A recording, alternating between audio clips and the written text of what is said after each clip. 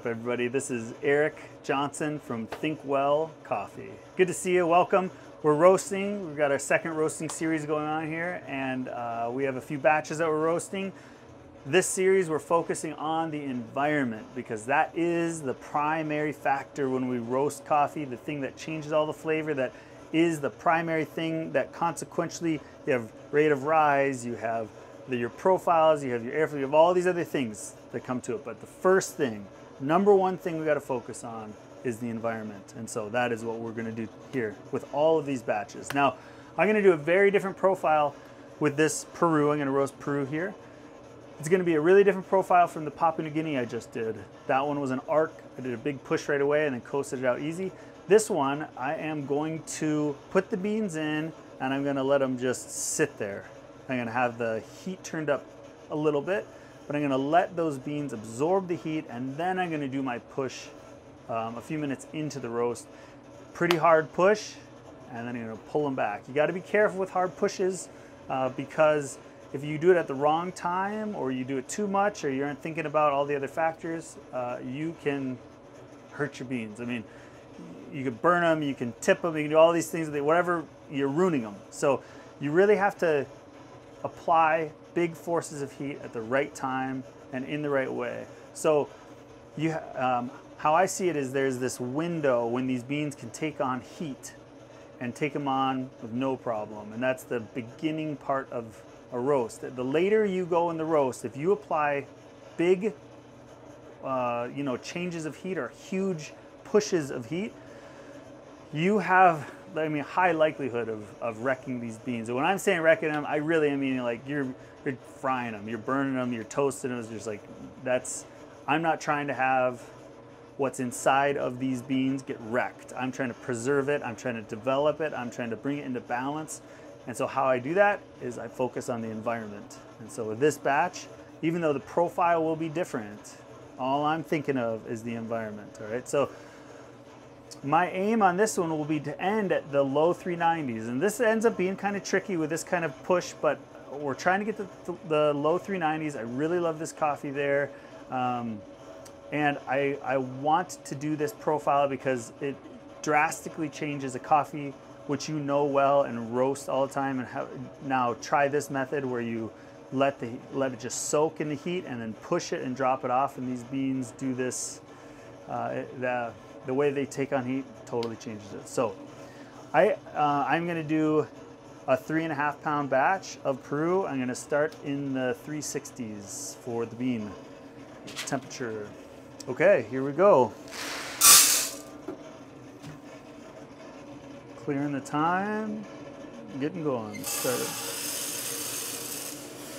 You know, I'm gonna I'm gonna start this batch at 2.75 on the gas, and and I am gonna watch. Okay, so when I'm when I'm thinking right now, I've told you we're thinking about the environment. That's what we're, now part of that is the thermocouple. The environmental thermocouple that we have here tells us what's going on here. But the other thing that tells us what's happening with these beans is our bean time or bean temp. How, where, what time is it when it's at certain temperatures? So at one minute, where is it? At a minute and a half, where is it? Where is it when it turns around and begins increasing? Um, these are all things that you want to, to keep in your head. Now, what what I'm going to do here is I'm going to let I'm going to the beans are are heating up and the the drum and the environment around it is cooling down and at some point they're going to meet and then we're they're both going to rise and you're going to see that when the bean temperature turns around and begins to increase again you can see it's steadily dropping I, I want this environment to hold some heat you know I'm down in the 350s that's we're getting kind of low I am going to turn that up some because I don't want it to get too much lower than 350s. And I'm going to go up, we'll see here. I think we're going to go up to about a four and a half. Maybe a little bit more. Okay, 4.6. Okay, so here we go. We're in the 260s for the bean temperature, a minute 45.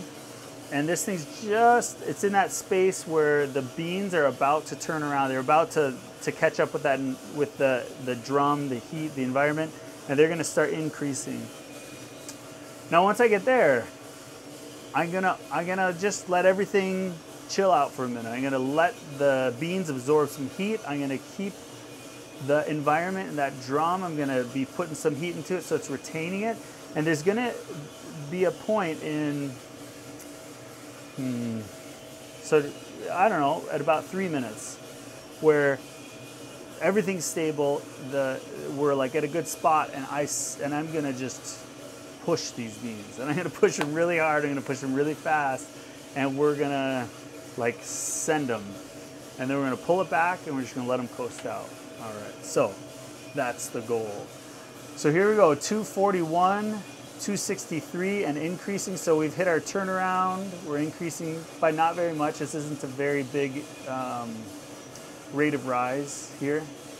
And then I'm looking at, and we've also, our environment is also turned around. So we're in a really nice spot here. I'm gonna let them, I'm gonna just, we're gonna begin pushing it, okay? So we're at three minutes and I'm going up in the flame. And slowly increase.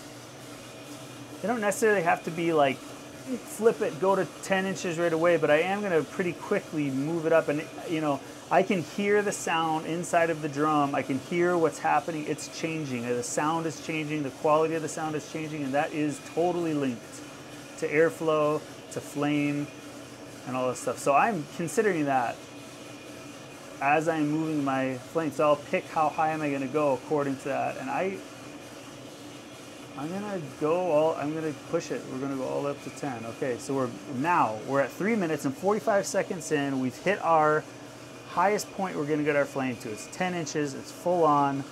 It's also at the same time that the changes in for these beans, they're just, it's like they're becoming alive. It's not the Maillard reaction yet. We're not there yet, it hasn't started, but it, they, they are opening.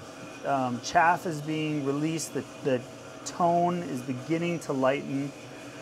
Before it hits anything that looks like yellow or orange, they kind of turn like a whitish color. And in my mind, that's them, they're opening and livening up. Bright green with some white hues. Four minutes, 30 seconds. Our environmental temperature is still pretty low, which is cool. Um, our beans are now entering the Maillard. So now, here we go. We're not thinking about rate of rise. We're not thinking about a profile or a screen. We're thinking right now about the environment. And this moment, I have been pushing these beans for a minute at that 10 inches flame. They're enter, they're now going through this huge transformation, going into the Maillard reaction. And it's at this point that I am gonna, I, I gotta let it, I gotta push it a little bit more we're five minutes, 300 degrees for the beans. The chaff is being released, so here we go. What I'm gonna do is I'm gonna open up my airflow. Airflow is gonna make the amount of pressure that this drum and these beans are taking, it's gonna expand it. We're making the room larger, can handle more, more force, moving things through. And now I'm gonna let that sit and then I will say in about 15 seconds or so, I'm gonna begin to do this very long, very slow pull back on the heat. So we didn't touch the air, didn't touch the heat, let it be, slowly increase the heat, really increase the heat. Now we're opening the air and we're gonna do this pulling back, okay? So we're pulling back, starting right now. 10, six minutes, 320 degrees for the beans, 310. So what's crazy about this is I'm gonna pull back my flame setting nice and slowly over probably a minute. But the, the giant force of the push has taken place. And so the environmental temperature reading is may end up looking pretty different from other roasts in terms of where does it end up landing. But I know that I have given enough um, heat in this roast to get these beans where I want them to go. And we are gonna slowly bring it down. We're approaching seven minutes. And these things are still moving pretty fast. Nothing crazy, but, and I don't actually, when I'm pulling this heat down, I'm not, I'm gonna get to a spot where I don't have to worry about it. I'm gonna kind of set it and I don't have to think about it. And it's gonna be around the, I think it's gonna be below two in this instance.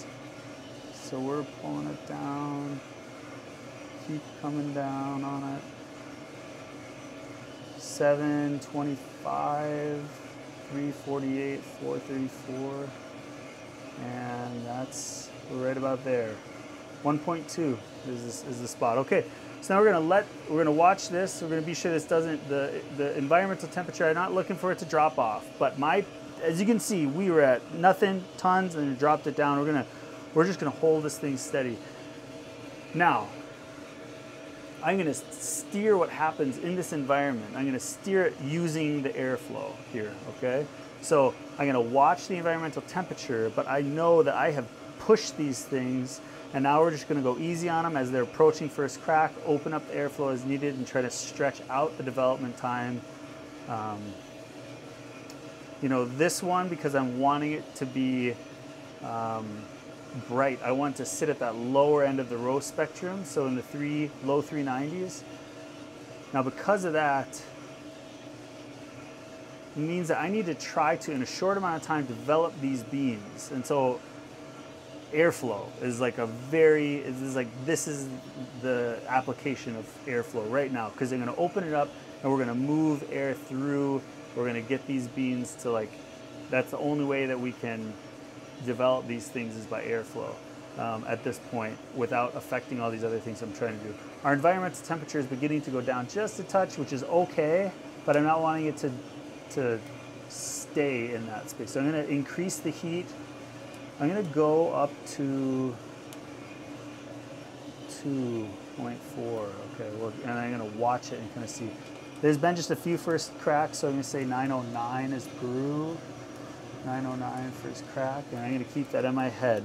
So, all right, I'm gonna actually pull back my flame a little bit. Again, not a ton, but I've increased my heat, and I'm okay not increasing my heat. I just don't want it to sink super low.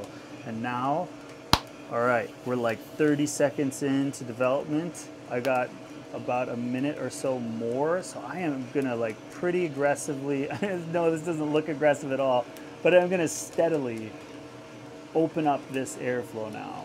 And the, the whole environment is changing. The beans are exotherming, they're pushing out. The water molecules, H2O, are splitting apart.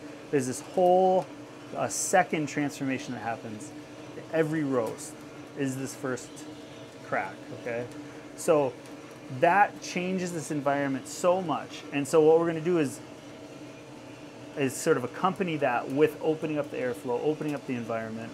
And I'm cool with our environmental temperature dropping. I'm like five degrees away from my finish. I'm gonna open this almost all the way and now I'm gonna just sit here. It's 10 and a half, so we're like just about a minute and a half into this. They're really, really, like I just saw being like expand. There's a lot going on for these still right now, which is nice. We're slowly, we got a nice slow um, increase in the bean temperature. And we're coming up on two minutes. I, I think this one's gonna end up under two minutes, right at 390, which is what I would like. So I think we're to stop it right at 11 minutes, 390. And we're to kill the, the gas and begin to stir. Okay, wow. okay, that was like a really, that was a good example of this, this profile. The reason why I, I stress the emphasis, like I, I, I cannot emphasize enough how important it is for us to focus on the environment is because you are free to roast these beans any way imaginable. If you have for yourself the primary thing that you're focusing on is the environment, it allows you to do very different uh, profiles, of very different ways of roasting coffee than you would if you're focusing on just the ROR, like the rate of rise, and saying, I need a steadily decreasing rate of rise. If that is your primary thing, you are binding yourself down to essentially roasting everything in one way. A roast like this you couldn't do um, because uh, of the application of heat, how late you waited to hit it, things like that. Now, um, specific beans are benefited by different roast profiles. And so a roast profile like this, you would apply to different beans along the way and you would see how, how does this change the bean flavor? Like how, when I'm drinking a coffee that I roasted like this, when I'm used to roasting a profile that's a long, slow arc, and I'm now doing this to it, you're gonna see something that's like developed very differently in the coffee that left some things out and brought some other things forward. Um, you wanna do this profile with beans that you know and find out, um, it, it may, you know, I think that it changes the body considerably. So um, when you're letting that heat soak and apply into it, and then you have this room to be able to push something, but you're not wrecking any of the acidity, um, you're you're finding how can I fill this thing out while still having a low finish roast temperature, which is going to have a lot of that acidity in there. So lots of stuff to kind of think about and play with. And thanks for watching, and uh, we'll check you out on the next video. All right.